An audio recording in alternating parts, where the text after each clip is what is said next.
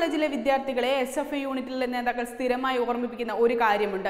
ഇവിടം ഭരിക്കുന്നത് ഞങ്ങളാണ് പ്രിൻസിപ്പൽ അല്ല. അത് അക്ഷരാർത്ഥത്തിൽ സത്യമാണെന്ന് ഭൂരിഭാഗം അധ്യാപകരും സമ്മതിക്കും. കോളേജിന്റെ നിയന്ത്രണം തങ്ങളുടെ കയ്യിൽ തന്നെ ആകണമെന്നതാണ് ഇവരുടെ ഏറ്റവും വലിയ ആവശ്യം. ഇവരുടെ ഉത്തരവുകളും ആവശ്യങ്ങളും നിരാകരിക്കപ്പെട്ടാൽ യൂണിറ്റിന്റെ അന്തസ്സ് തകർന്നു പോകുന്നുവെന്നാണ് ഇവരുടെ വിശ്വാസം. മതമൗലികവാദത്തെക്കാൾ ശക്തമായ ഏകാധിപത്യ ഫാസിസ്റ്റ് മനസ്സാണ് ഇക്കാര്യത്തിൽ ഇവർ സൂക്ഷിക്കുന്നത്. ഇതിപ്പോൾ ഒരു കമ്മിറ്റിക്ക് വന്നതല്ല. ഇങ്ങനെയാണ് തങ്ങൾ യൂണിവേഴ്സിറ്റി കോളേജിൽ അധികാരം പിടിച്ചു നിർത്തുന്നതെന്നാണ് ഇതുപോലെ ഭരണം നടത്തിയിരുന്ന നേതാക്കളും പിൻഗാമികളും പറഞ്ഞു പഠിപ്പിക്കുന്നത്. ഏതാനും വർഷം മുമ്പ് യൂണിയൻ സംഘടിപ്പിക്കുന്ന ഒരു പരിപാടിയുടെ ദിവസം ഒന്ന് മാറ്റാൻ ഇവരോട് അടുത്ത ചില അധ്യാപകർ തന്നെ ആവശ്യപ്പെട്ടിരുന്നു. എന്നാൽ അത് നടക്കില്ലെന്നായിരുന്നു യൂണിറ്റുകാരുടെ മറുപടി. പരിപാടി വേണ്ടെന്ന് വെച്ചാലും യൂണിറ്റ് തീരുമാനിച്ച ദിവസം മാറ്റിവെക്കാനാകില്ലത്രേ. ഒടുവിൽ പരിപാടി തന്നെ ഇവർ റദ്ദ് ചെയ്യുകയായിരുന്നു. ഭീഷണിപ്പെടുത്തിയും തല്ലിച്ചതച്ചും യൂണിറ്റിന്റെ മേധാവിത്വം അംഗീകരിപ്പിക്കാൻ എന്തും ചെയ്യാൻ മടിക്കാത്ത ഒരു വിഭാഗം ഗുണ്ടകളും എല്ലാ കാലത്തും എസ് എഫ് ഐ യൂണിറ്റിലുണ്ടാകും. എന്നാൽ അതിന്റെ മൂർധന്യത്തിലേക്ക് എത്തിയതാണ് ഇപ്പോഴത്തെ ദുരന്തം. യൂണിറ്റിന്റെ നിർദ്ദേശം മറികടക്കുന്നു എന്ന് തോന്നിയപ്പോഴാണ് ഒപ്പമുള്ളവരെ പോലും കുത്തിവീഴ്ത്താൻ ഇവർ തീരുമാനിച്ചതും. വിദ്യാർത്ഥികളെ എന്ന പോലെ അധ്യാപകരെയും ഭീഷണിപ്പെടുത്തി തന്നെയാണ് വരുതിയിലാക്കുന്നത്. തങ്ങൾക്കെതിരെയാണെന്ന് തോന്നുന്ന അധ്യാപകരെ നിലക്കി നിർത്താൻ പല വഴികളുണ്ട്. ചീത്ത വിളിക്കുകയാണ് ആദ്യ പരിപാടി. അധ്യാപകർ അടുത്തുകൂടി പോകുമ്പോൾ മറ്റാരെയോ എന്ന പോലെ ചീത്ത വിളിക്കും. അടുത്ത ഘട്ടം അടുത്തു ചെന്ന് മുഖത്തു നോക്കി ചീത്ത വിളിക്കലാണ്.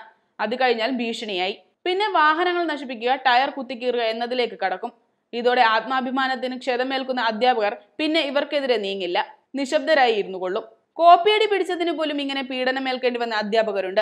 പഠനവും ക്ലാസ്സും ഒന്നും പ്രശ്നമല്ലാതെ നേതാവ് ചമയൻ മാത്രം എത്തുന്നവരെ നിയന്ത്രിക്കാനും അധ്യാപകർക്ക് കഴിയാറില്ല. ഇതിലും ഒതുങ്ങാത്തവർക്കെതിരെ പിന്നെ പരാതി പ്രളയമാണ്. പെൺകുട്ടിയെ പീഡിപ്പിച്ചെന്ന് വരെയുള്ള പരാതികൾ ഉണ്ടാവും. ഒടുവിൽ ഏതെങ്കിലും ഒരു പരാതിയിൽ ശിക്ഷാ നടപടി വാങ്ങി നാണം കെടേണ്ടി വരും. കോളേജിനെയും വിദ്യാർത്ഥികളെയും നന്നാക്കാൻ ഇറങ്ങി മാനനഷ്ടവും ദൂരത്തേക്കും സ്ഥലമാറ്റവും വാങ്ങാൻ താല്പര്യമില്ലാത്തതിനാൽ മൗനം പാലിച്ച് സ്വന്തം കാര്യം നോക്കി പോകാൻ അധ്യാപകരും തീരുമാനിക്കും. വിരലിൽ എണ്ണാവുന്ന ചില അധ്യാപകർ മാത്രമാണ് ഇവർക്ക് എല്ലാ പിന്തുണയും നൽകുന്നത്. അത് ആ അധ്യാപകരുടെ സ്വന്തം കാര്യം കൂടി കാണാനാണെന്നാണ് മറ്റ് അധ്യാപകർ പറയുന്നത്. ഇത്തരം കുറ്റവാളികളെ കോളേജിൽ നിന്നും പുറത്താക്കാൻ രാഷ്ട്രീയ നേതൃത്വം സമ്മതിക്കുകയുമില്ല.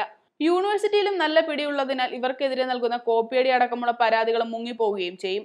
പരാതി നൽകുന്നവരുടെ വിവരങ്ങൾ അപ്പോൾ യൂണിറ്റുകാർക്ക് ലഭിക്കുകയും ചെയ്യും. ഇതിന് പരാതി നൽകിയത് അധ്യാപകനായാലും ചീത്തവിളി വേറെ കേൾക്കണം. രണ്ടായിരത്തി ഒന്നിൽ യൂണിവേഴ്സിറ്റി കോളേജിലെ അക്രമികളെ പിടിക്കാൻ പോലീസ് അകത്ത് കയറിയതാണ്. എന്നാൽ ഇപ്പോഴത്തെ സി പി എം സംസ്ഥാന സെക്രട്ടറി കോടിയേരി ബാലകൃഷ്ണന്റെയും മുൻ മന്ത്രി ശിവദാസ മേനോന്റെയും നേതൃത്വത്തിൽ അകത്ത് കയറി പ്രിൻസിപ്പലിനെ ഭീഷണിപ്പെടുത്തി പോലീസിനെ പുറത്തിറക്കിച്ച് അക്രമികളെ രക്ഷിക്കുകയും ചെയ്തു. അതിനുശേഷം പോലീസും അകത്ത് കയറാൻ പോയിട്ടില്ല. പ്രിൻസിപ്പൽമാർ പരാതിയും നൽകിയിട്ടില്ല. അടുത്ത കാലം വരെ എസ് എഫ് ഐയുടെ ജില്ലാ കമ്മിറ്റി നേരിട്ടാണ് യൂണിവേഴ്സിറ്റി കോളേജിന്റെ ചുമതല വഹിച്ചിരുന്നത്. ഈ യൂണിറ്റിലുള്ളവർ സംഘടനയിലും നല്ല നിലയിലാണ്. ഏരിയ കമ്മിറ്റി പ്രസിഡന്റിനെ തല്ലിയാൽ പോലും ആരും ചോദിക്കില്ല. Web desk Tatwamayi news.